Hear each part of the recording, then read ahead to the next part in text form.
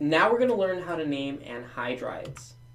So guys, anhydrides are a specific functional group that come up a lot in this section, and they're one that you might not be very familiar with at all. So let's just back up for a second and talk about what is an anhydride.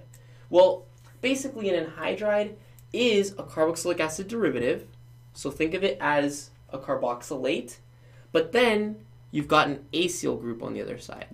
Okay, so then you've got your carbonyl and R. Okay, and another way to think of it is that it's a dicarbonyl with an O in the middle, whatever you want to think, okay?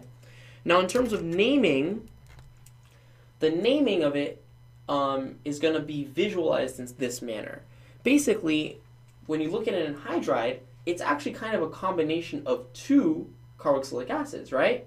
You could say that maybe this was carboxylic acid 1, and maybe this was carboxylic acid 2 right? And maybe they came together and made an anhydride.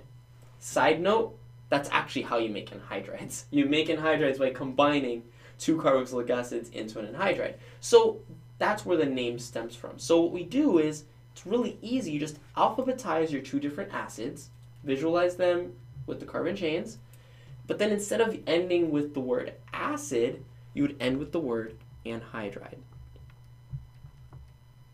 Okay? Now, another special situation is what happens if your R groups are the same? So what happens if both sides of my anhydride are symmetrical?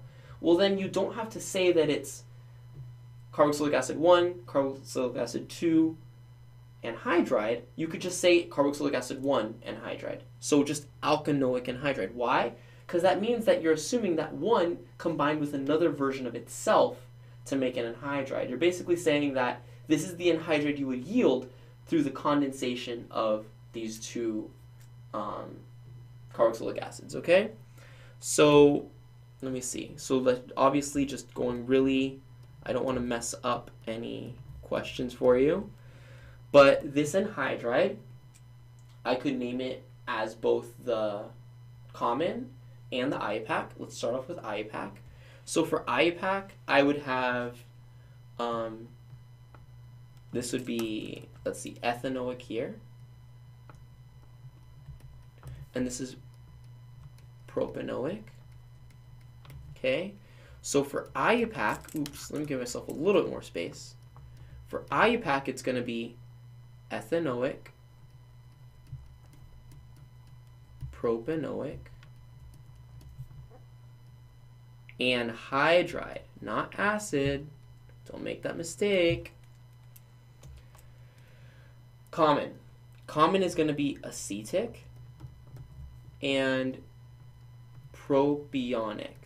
Okay, these are the ones you're supposed to memorize. So again, alphabetical order, we're going to get acetic, propionic, anhydride.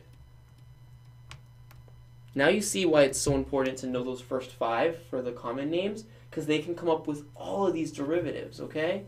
So that's it. Move on to the question. Let's see if you can get it right, and then I'll give you the answer.